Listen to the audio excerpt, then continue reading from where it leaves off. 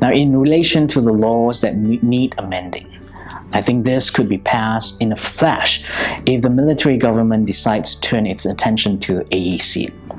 Now, when this would happen is anyone's guess.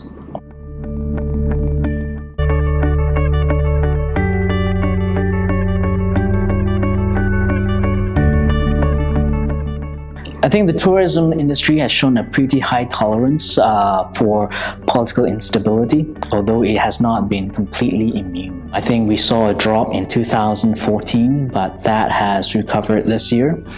Manufacturing, on the other hand, took a pretty big hit. But that's more of a result of a combination of few factors like uh, high labor costs, uh, global supply chain structures for new technology products, and lower external demand. So it's not purely political instability.